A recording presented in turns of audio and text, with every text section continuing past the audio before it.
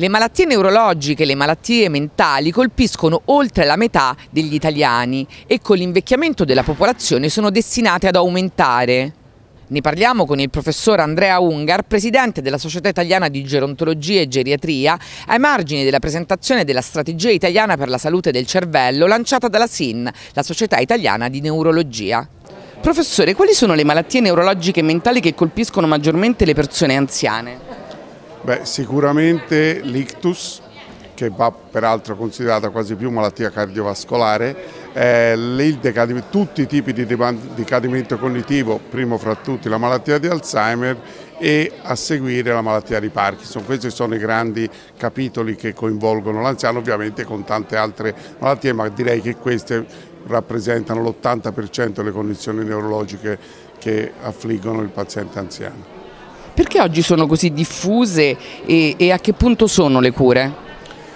Beh, intanto sono diffuse perché, fra virgolette, fortunatamente sono tanti gli anziani, quindi una malattia che aumenta con l'età poi si manifesta di più se abbiamo tanti anziani. Questo non vuole assolutamente dire che tutti gli anziani sono affetti da malattie neurologiche o che la vecchiaia sia una malattia neurologica, fra virgolette, perché questo purtroppo è quello che viene che viene vissuta, invece noi abbiamo l'80% dei nostri anziani che grandi anziani che stanno molto bene, però è chiaro che se una malattia aumenta con l'aumentare dell'età e noi dobbiamo aspettarci, così come la fragilità e la disabilità, un numero maggiore di pazienti che vanno incontro a decadimento cognitivo.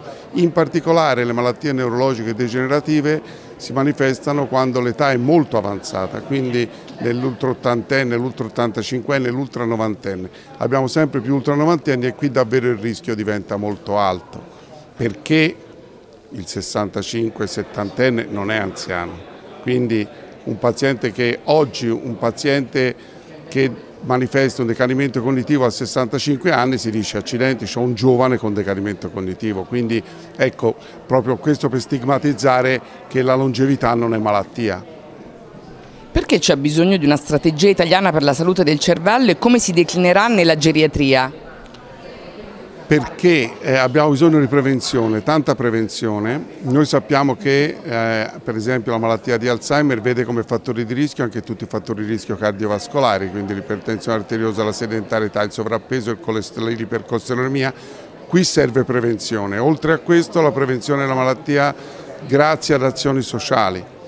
Le malattie neurologiche vedono come fattore di rischio la depressione ma anche la solitudine la solitudine porta a una riduzione della funzione cerebrale. Se noi riusciamo ad evitare la solitudine, a lavorare contro la solitudine, ecco che riduciamo anche l'incidenza di decadimento cognitivo, quindi molto importante. Io abbiamo appena fondato, mi dice dei geriatri, i geriatri hanno appena fondato insieme ai veterinari un'associazione che si chiama Veteris che vede l'unione di geriatri veterinari per interventi assistiti con gli animali, per gli animali da compagnia per gli anziani soli un animale da compagnia quando rimani vedovo ti fa rimanere attivo. La motivazione è la base dell'azione, se la mattina non hai una motivazione sei solo, il tuo cervello invecchia.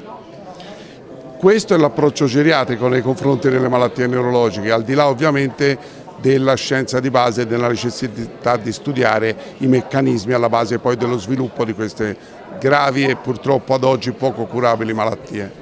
Come collaborerete con SIN per la realizzazione del piano? Abbiamo creato un gruppo di lavoro che prevede la compartecipazione di un neurologi della Società Italiana di Neurologia e geriatri della Società Italiana di Geriatria proprio per mettere in atto strategie preventive e di ricerca eh, nell'ambito delle malattie neurologiche del paziente anziano.